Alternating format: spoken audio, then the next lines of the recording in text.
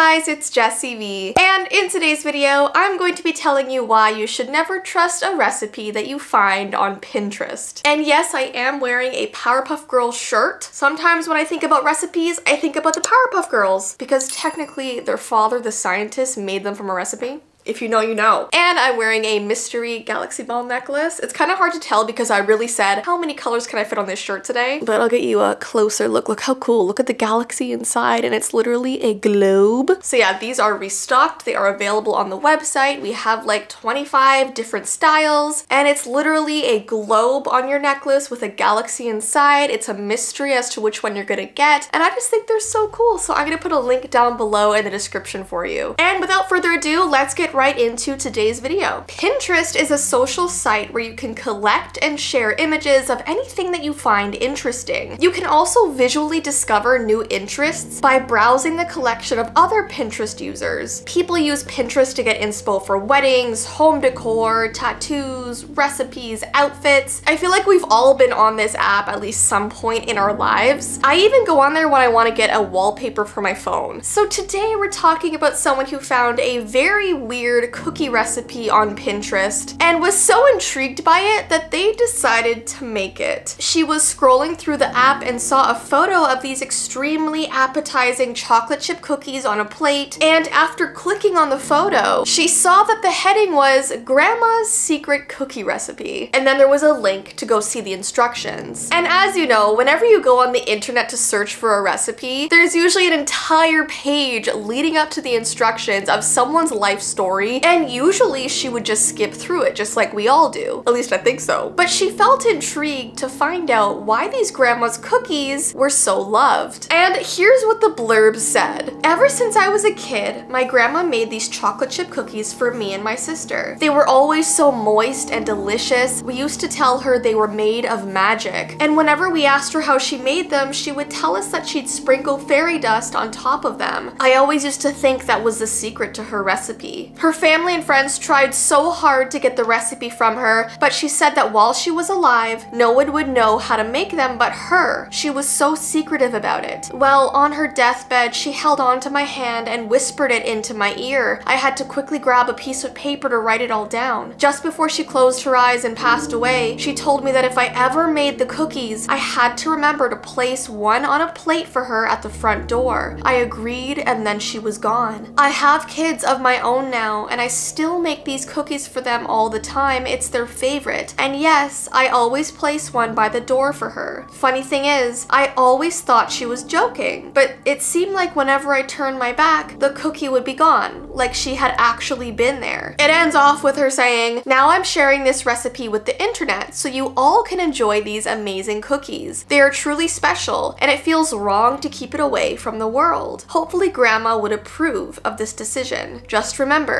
if you make them, leave one on a plate by your front door. And while that last sentence was definitely very strange, the recipe itself was pretty normal. It called for butter, white sugar, brown sugar, flour, sea salt, and chocolate chips. So it's not like anything weird is in the ingredients, they're all pretty basic. Then she had all of the instructions listed out, but there was this very strange step at the end. It said, bake in preheated oven for nine minutes exactly.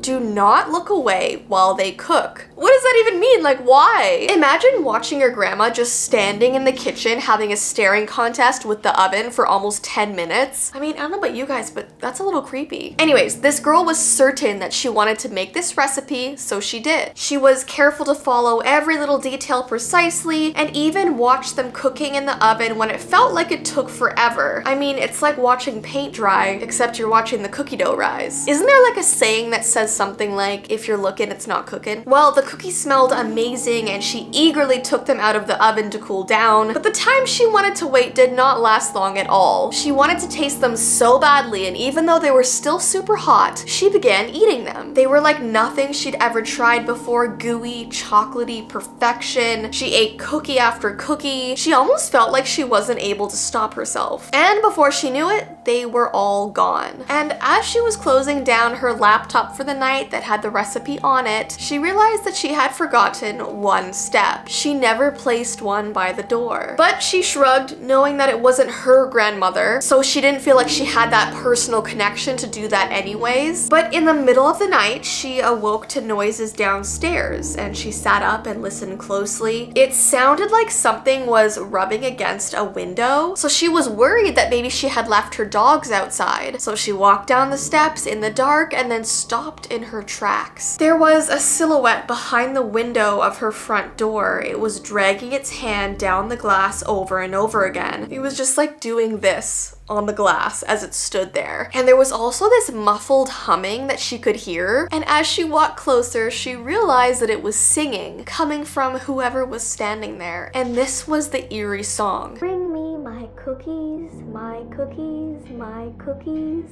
Bring me my cookies, my cookies, my cookies. So she froze, knowing exactly who was at her door. She ran back upstairs, she closed the door, and she sat on her floor in terror, listening to the scraping against the door and the humming and the creepy song all night long until the sun came up. As soon as the sun rose in the sky, it stopped. And as you can imagine, she never made those cookies ever again. So I thought that was so creepy, and I just know that as I'm editing this video and I have to put photos in there, I'm gonna crave chocolate chip cookies. And I'm so sorry if I did that to you guys as well. But I do wanna know something. If you saw this cookie recipe on Pinterest or just online anywhere and it was talking about how magical and amazing these cookies are, would you make them? If you would, even hearing that weird warning, comment the cookie emoji if you would make them. And if you would, you should probably put one by your door. But if you would not make them, comment the ghost emoji. Cause I don't know what I would would do. I mean, a part of me wants to try and make this recipe on the vlog channel because I'm crazy. But if I didn't have YouTube, it would definitely be a ghost emoji.